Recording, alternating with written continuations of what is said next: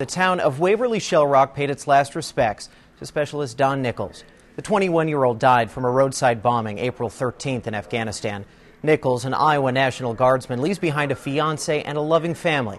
KETV News Watch 7's Melissa Fry reports. Life, service, and sacrifice. Specialist Don Nichols with the Iowa National Guard remembered right here in his old high school gym. A tribute to the man many called Donnie. Chelsea Bliss called him her fiance. Don't answer the phone. Why are they calling? Tears come to her eyes. Our soldier has fallen. All friends and family, the pain that we feel, it cannot be true. This cannot be real. Messages from those who knew him and loved him.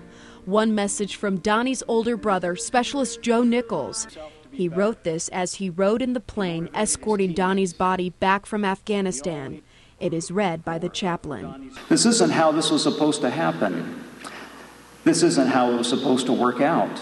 I should be the one in the case below this airplane, not my baby brother. Many questions unanswered, but no questions about the love Donnie had for his country and the love his country has for him.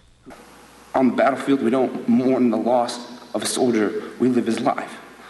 And that's what I want us to do today live his life because that's what he did for everybody. Now is the time for us to be strong.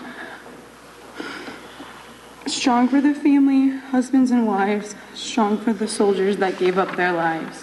Melissa Fry, KETV News Watch 7.